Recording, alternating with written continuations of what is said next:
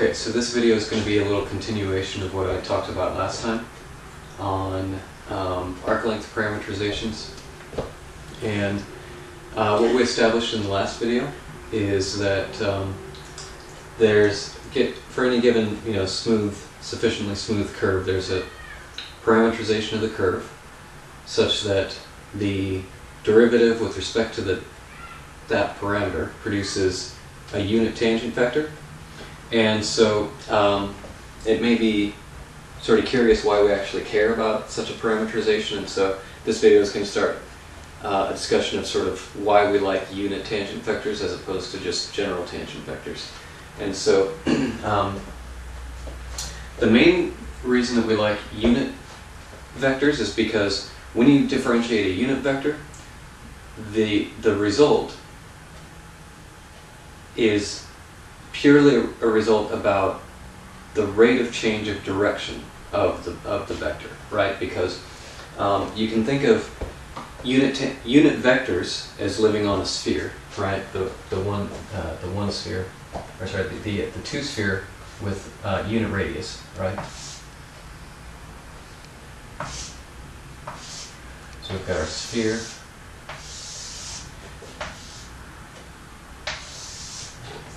And if your vector has unit radius, or sorry, unit length, then it lives on this two sphere of unit radius. And so you can think of this thing as just sort of tracing out some curve on this sphere. And what we notice is that when we differentiate this thing, so suppose we have, you know, this is some function g of g of s is just a unit vector on the sphere, then the derivative of this thing is going to be a tangent vector to the sphere, okay? And it's going to point in the direction that the tangent vector, uh, sorry, that, that the unit vector is um, moving in. And furthermore, the length of this tangent vector is going to be the rate at which this um, unit vector is tracing out this curve on the sphere, right? So that's what derivatives of unit vectors give us, is they give us direction of change together with the rate of change, okay? And so um, what we can do is thinking of a generic curve.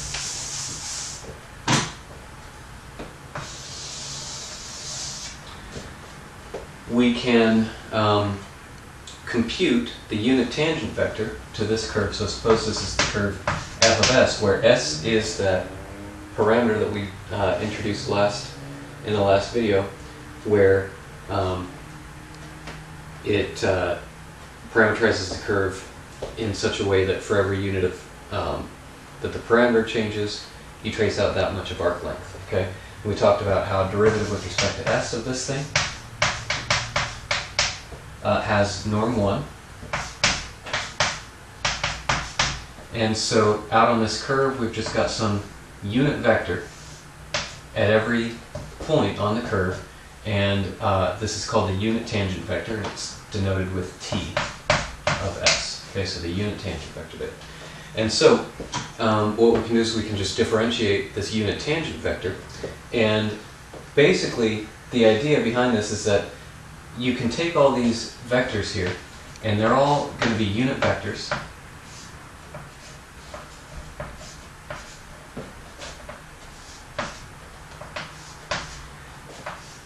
And you can just think of taking all those unit vectors and putting them onto the sphere, right? You just take them and you keep the same direction, but you just shift them all over to the sphere, okay? And so uh, this vector would be pointing sort of down like that uh, this vector would be pointing over like that and so on. And so you just take this vector and look at the change in direction of this vector, okay? And so intuitively speaking then, differentiating the unit tangent vector is going to tell us um, both the direction and the rate of change of um, the curve, right? The, um, the direction of change and the rate at which that direction changes, okay? And so you'll notice that in this case here, the curve is changing very quickly and it's changing in this direction, right? in this region here, you'll notice that it's changing very slowly and it's changing in that direction. And so, the result of differentiating the unit tangent vector gives us those two pieces of information, direction of change of the curve and the rate at which that change is occurring. And so, um, we can uh, differentiate this thing. We know that, um, let's go and consider the derivative of the unit tangent vector dotted with itself, okay?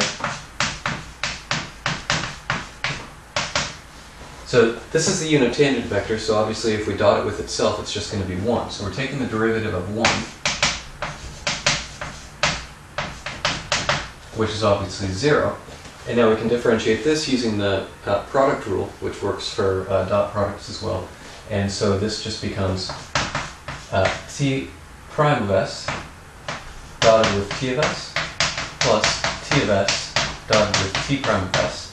And the dot product is um, commutative, so you can switch the uh, order here, and we get 2 t prime of s dotted with t of s, okay? And so what we notice then is that since this thing is equal to 0, that tells us that the um, derivative of the unit tangent vector is orthogonal to the tangent vector, right? And so um, that direction, orthogonal to the unit tangent vector, is what's called the normal direction. And I say the normal direction because there is, under certain conditions, there is a uniquely defined normal direction that we care about that is given to us through this differentiation process. Okay, so uh, we'll talk a little bit more about that in just a minute. Anyway, so um, we can, uh, given this normal direction, what we can do is we can rewrite the derivative of the unit tangent vector in the following way. We can write t prime of s as that normal direction, so this is obviously the direction of change of the unit tangent vector, times some scalar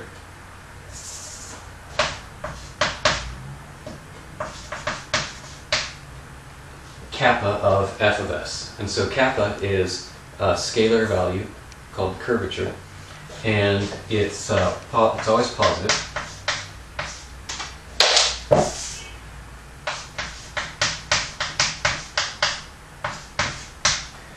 Um, assuming your curve is not a straight line. Okay, so this kappa is only defined when the curve is not a straight line.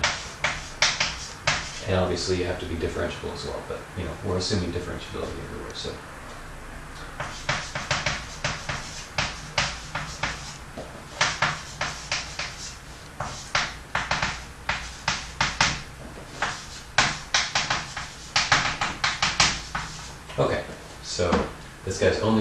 When f is not a straight line. And so, um, what this looks like is we've got our curve here, and the unit tangent vector basically tells us the direction that the point would be moving. If you think of a point tracing out this curve, the unit tangent vector tells you the direction that that point is moving at some um, instant, right? And now, when we measure the rate of change of the unit tangent vector, what we're doing, like I said, is we're measuring two things, both the direction of change of the curve together with how quickly the curve is changing in that direction, right? And so, uh, that is the intuitive meaning of t prime of s. And like I said, we can think of um, t prime of s in those two terms. Kappa of s tells us the rate at which the curve is changing, and uh, s tells us the direction. And so, um, in this case, the curve is changing extremely rapidly, and so the t prime of s is going to be large. This would be our unit normal vector, n of s. And then multiplying that by kappa, remember kappa is always positive, so it's going to have the same direction, stretches that thing out. And then over in this region here, obviously, it's much small, uh, the, the rate of change of the curve is a lot slower, and so we have our unit normal vector, n of s, but uh, kappa is going to be much smaller because the curve is not changing direction very quickly. Okay. So, once we have t of s and n of s, we can define something called the osculating plane. The osculating plane is just defined to be the span of the unit tangent vector and the unit normal vector.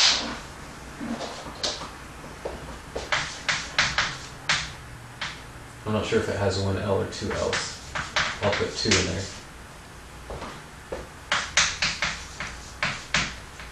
So this thing is just the span of the unit tangent vector and the unit normal vector. And it's called the osculating plane because uh, there's an object called the osculating circle, which is uh, kind of important. The osculating circle is a circle which measures um, how much curvature the curve has at a given point. Okay, so you've got your curve here, and let's just assume that this curve is planar. It, the osculating circle can be defined for non-planar curves as well, but just for the sake of clarity, let's assume that this thing is planar. So it's perfectly flat here. Then the osculating circle at a given point is just a circle of a given radius such that that circle is tangent to the curve at that point. Okay? And so obviously this osculating circle then gives us information about the amount of curvature for that point. For a high curvature area, the osculating circle is very small. And for an, a region like this, the osculating circle is going to be very large because you need a large radius in order to have a tangent circle to that point, right? And so um, the osculating circle lives in the osculating plane. Okay, so remember, osculating plane is you've got your unit tangent vector here and your unit normal vector, and you just take the span of those two vectors. That gives you the osculating plane. Osculating circle then lives in that plane and kisses the curve. The osculating circle is tangent to the curve at the given point. Okay, and so we already discussed how the um, size of the osculating circle gives us information about the rate of curvature of the curve at that point, and it's related to that original kappa value. Remember that we had uh, the rate of change of the unit tangent vector is given by um, kappa of f of s times the unit normal vector, and this kappa of f of s actually has an interpretation in relation to this osculating circle. Okay? The radius of the osculating circle is given by the reciprocal um, 1 over kappa of f of s.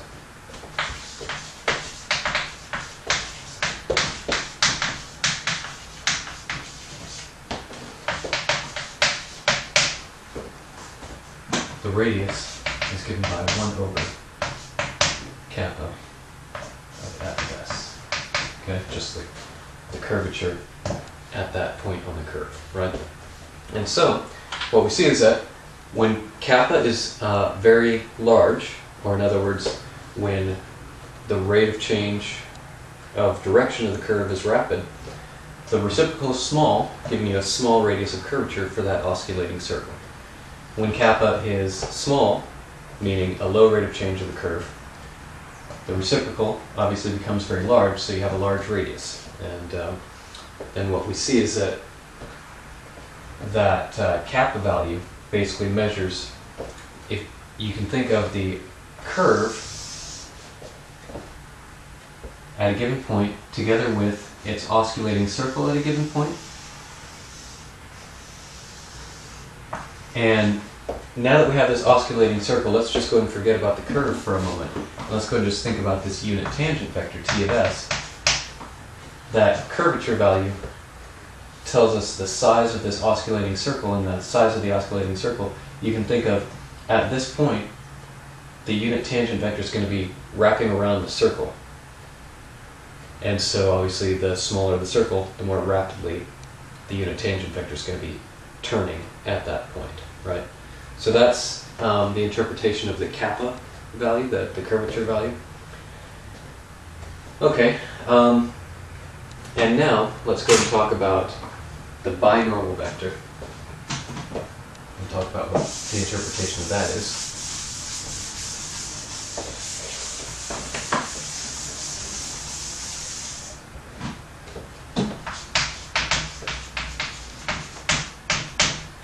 Binormal vector is just given by t of s cross n of s.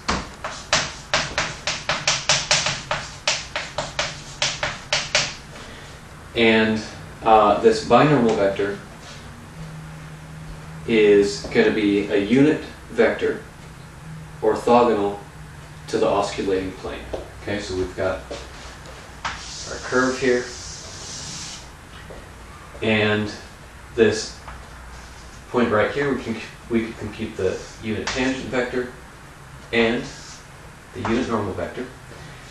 Remember that the osculating plane is the span of those two. And now, the uh, binormal vector is going to be the cross product of these two. Ah, I drew this kind of bad. But that's okay. So that's t of s, this is n of s. So it's going to be uh, t of s cross n of s. So in this picture, it points down, actually, which is fine. Um, and so this binormal vector,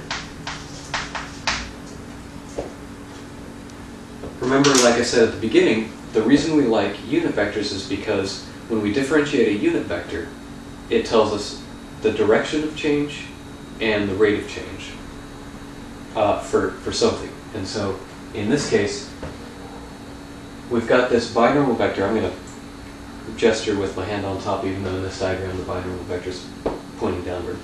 The binormal vector is always orthogonal to the osculating plane. And so um, this osculating plane sort of turns around as it as the curve gets traced out, right? And so if you differentiate the binormal vector, what you get is uh, the rate of rotation of the osculating plane about the tangent line to the curve. Okay? So let's go and draw this in our diagram here. We've got this tangent line through the unit tangent vector. And like I said, that osculating plane, as the curve gets traced out, the osculating plane curves around and sort of um, you know, changes angle like this. And so when you differentiate b of s then, what happens is that b of s measures the rate of rotation of the osculating plane around the tangent line to the curve. Okay? And this is then related to the torsion of the curve. The torsion of the curve uh, describes the rate at which the curve is trying to twist out of the osculating plane. And so um, in a planar curve, the torsion will be zero because it's not twisting out at all. But for a, a curve that's out in space like this,